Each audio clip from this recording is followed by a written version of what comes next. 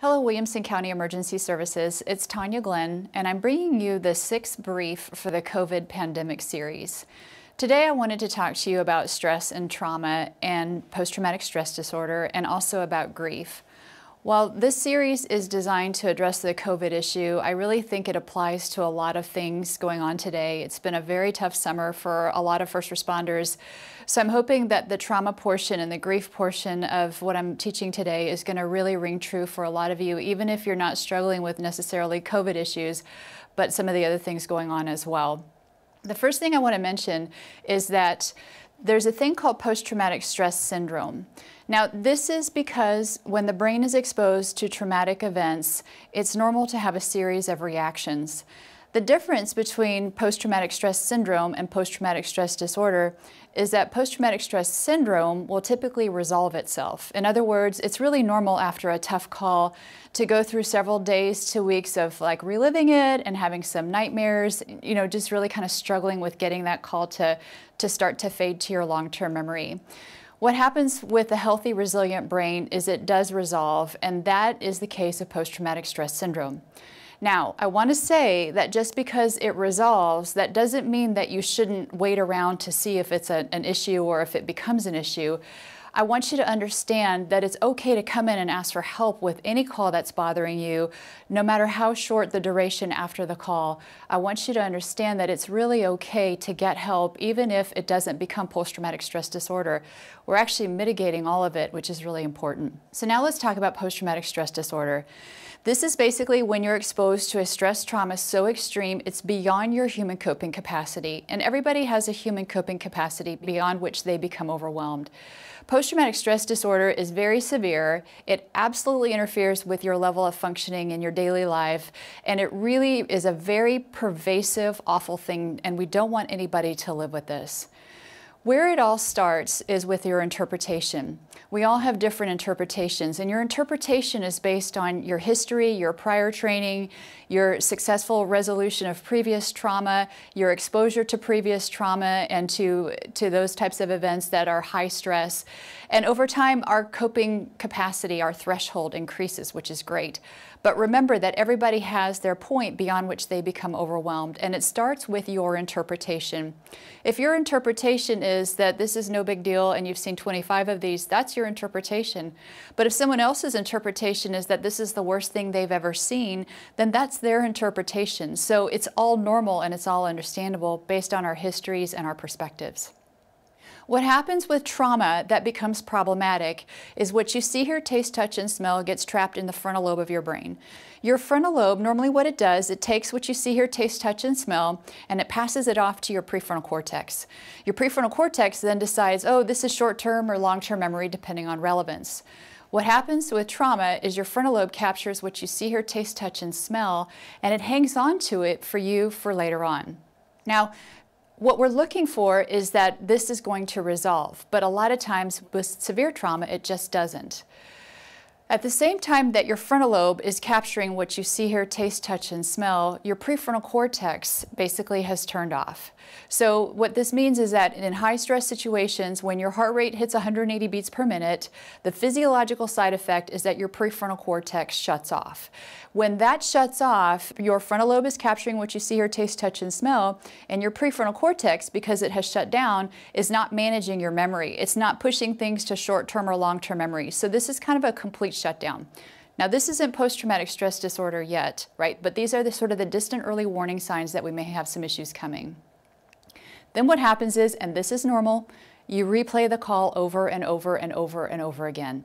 You see it, you hear it, you smell it, you taste it, you have nightmares about it, and it's very much like it's in your face all the time. What I want you to understand is that for the first few days after traumatic calls, you are going to replay them. That is your brain's way of starting to work through what you have dealt with. It is normal, although unpleasant, it is normal to have nightmares the first few nights because your brain is downloading and processing and kind of grappling through this call. So while they're not pleasant, it's actually healthy for a couple of nights to have some nightmares. But here ultimately is what we're looking for. By seven days post-incident, where we want our first responders is that that call is starting to fade.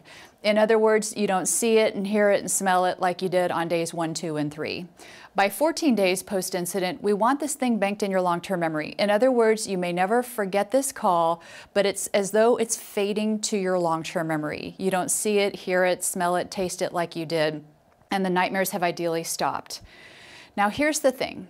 If at 14 days this call is still very much in your frontal lobe and in your face, we want you to get help. At this point, this is all prevention. This is not post-traumatic stress disorder yet. And I give you guys 14 days because most first responders with a series of calls already under your belt and all of the distractions of future calls after the trauma, what happens is you guys tend to resolve it pretty quickly. So it's alarming to me as a clinician who's been working with you guys for 28 years that if you haven't pushed it to your long-term memory by two weeks out, that to me is a sign that maybe your brain is really struggling with this one. So we want you to get help. And again, it's all preventative at this point. What happens if you don't get help and it eventually becomes post-traumatic stress disorder is it basically hijacks your limbic system. And your limbic system is your emotional regulation side of the house. It's your anger management center. It's your emotional control. It's your fight or flight mechanism. This thing is really important. And when it's not intact, a lot of things start to go wrong. So specifically what happens over time is as the trauma is stored in your frontal lobe, what you see, hear, taste, touch, and smell, you begin to relive that over and over and over again during the day and in nightmares. And these triggers sometimes cause a physiological reaction of a fight or flight response. In that fight or flight response, you produce adrenaline, glucose, and cortisol. And what we have figured out is the cause of post-traumatic stress disorder is the cortisol crosses the blood-brain barrier and it hits this thing called your hippocampus. Your hippocampus helps you manage trauma and loss. So when the cortisol hits your hippocampus, it causes it to shrink, and that's bad news. We figured this out with our Vietnam veterans, known cases of PTSD and postmortem autopsies. This is how we begin to understand the physiology of post-traumatic stress disorder. The good news here is that your hippocampus can and will repair itself if you get help. It'll generate new neural pathways and it will grow back and really, it's the only portion of your brain that can do this. And we are banking on your hippocampus's ability to heal when you come in and get help. When your hippocampus shrinks, it then hijacks your amygdala, and this is your caveman. This is your fight or flight response. So when your amygdala gets hijacked, what happens? Your limbic system is malaligned, and what happens is you default to fight and run all the time because you can't default to everything's fine because then you would die in danger. When your amygdala defaults to fight and run all the time, you are constantly, constantly in a state of that super hypervigilance and fight or flight. And this is absolutely miserable. These are the three elements of post-traumatic stress disorder, those intrusive images, those ongoing recurring nightmares, and all of those triggers that constantly, constantly hit you all day long. Sometimes you don't even know what they are. It could be as simple as a smell or, or something you hear on the TV. The arousal is that, that fight or flight response that you have over and over again, of course, producing adrenaline, glucose, and cortisol, which causes then, of course, all the problems with the hippocampus.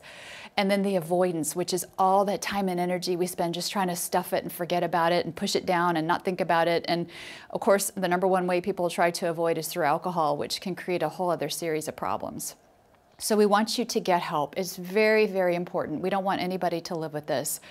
My favorite modality, as many of you know, happens to be eye movement desensitization and reprocessing. This is hands down one of the biggest tools we have in our toolbox. It is my favorite thing to do. It is fast, it is effective. First responders love it because it is so fast and so effective.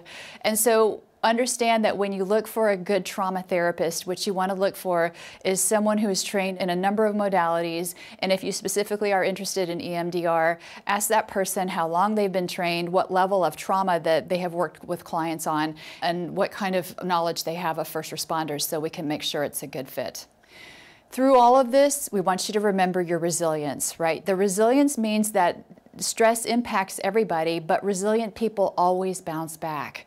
So resilience, really truly on any given day, are you low, moderate, or highly resilient? We want you to come to work highly resilient. At this point during this pandemic, it's very tough. It's been a very tough summer. I think everybody's resilience has been sliding towards moderate to low because people are fatigued.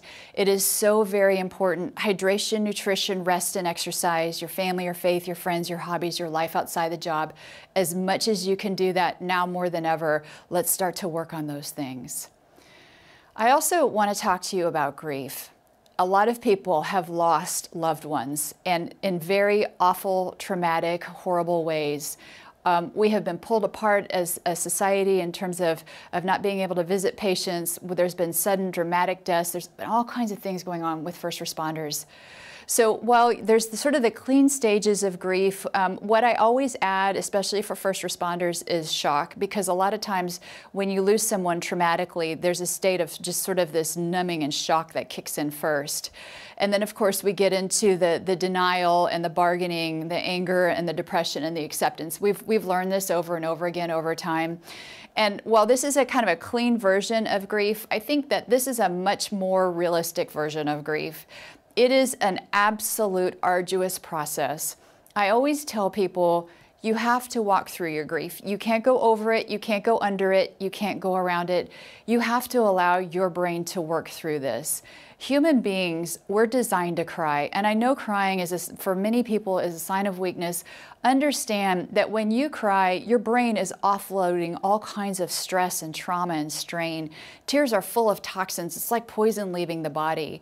No one's immune to trauma and grief. And so understand that when you allow yourself to sit with those awful feelings when they happen and as often as they happen, you are going to work through it much more quickly. Now, as type A's, we tend to want to think our way through our grief. We want to cognitively work our way through it and think through it, but really, honestly, all it does is prolong the grief process because that grief is waiting for you uh, when you finally sit down and deal with it.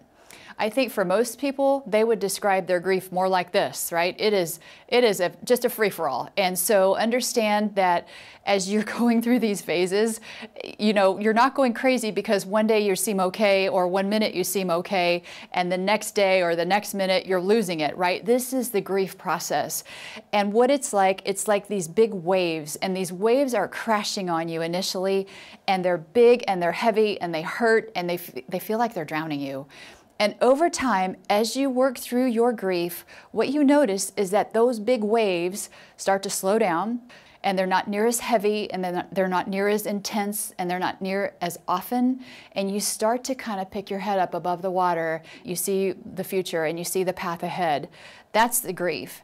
And then when you think you're getting, getting somewhere in this grief process, here comes another big, nasty, awful wave and it crashes right on top of you. So don't be surprised. If it feels like two steps forward and three steps back on certain days, that's normal. We all have to walk through this process together. The bottom line, now more than ever, first responders need to get help. I cannot, cannot stress this enough. Now more than ever, we need to rally around each other. We need to embrace each other. We need to support each other. And we need to be there for each other. Whether it's a fellow employee, a peer support team member, a clinician, your, your chaplains, your clergy, whatever resources you have and need, reach out to them because the healing starts immediately. Honestly, I have worked with some of my patients starting when they were still in the intensive care unit. That's how quickly we're starting the preventative work to make sure people heal properly. I cannot, cannot stress how important it is that everybody, when you need help, that you reach out and you get it. That takes me to the end. I absolutely adore you guys. Please hang in there. Thank you for everything you do. Please understand you are loved and you are cherished, and we absolutely support you. Thank you.